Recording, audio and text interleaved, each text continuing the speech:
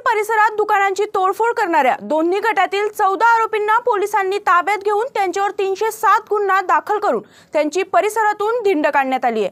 पाहूयात ही सविस्तर बातमी.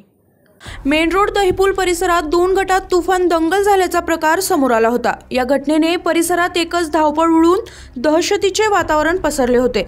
या हाणामारीत चार ते पाच जण जखमी झाले असून एक जण गंभीर जखमी झालाय. दहशत वर्चस्व हप्ता वसुलीवरून हा वाद झाल्याचे बोलले जात होते.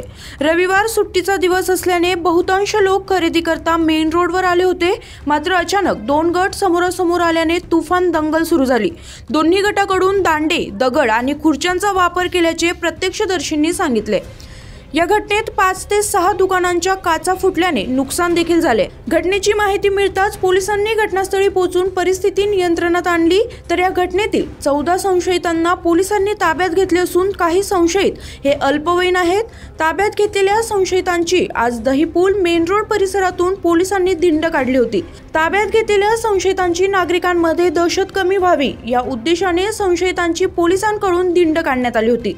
याबाबत अधिक तपास. भद्रकाली पोलीस करीत आहेत तर या प्रकरणाविषयी पोलीस उपायुक्त किरण कुमार चव्हाण यांनी अधिक माहिती दिली आहे. भद्रकली पोलीस स्टेशनच्या हद्दीमध्ये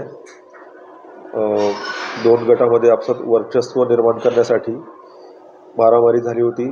त्याच्यामध्ये आपण तीनशे सात सारखा गंभीर गुन्हा दाखल केलेला आहे. त्याच्यामध्ये पोलिसांनी स्वतः पुढाकार घेऊन फिर्याद फिर्यादी पोलिसांतर्फे झालेला आहे.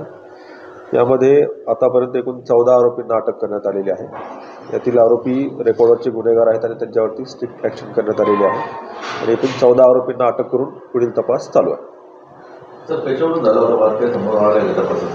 ह्यांचा उद्देश त्या एरियामध्ये दहशत निर्माण करणे आणि त्या एरियामध्ये आपलं वर्चस्व राखणे असा होता एकंदर दिसतंय.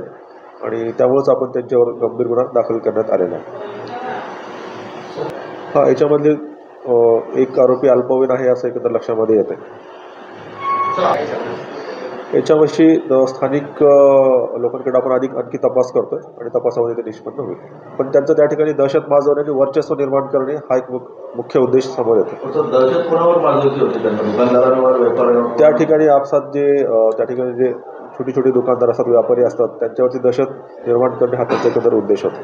Nine news Maharashtra bureau Nashik.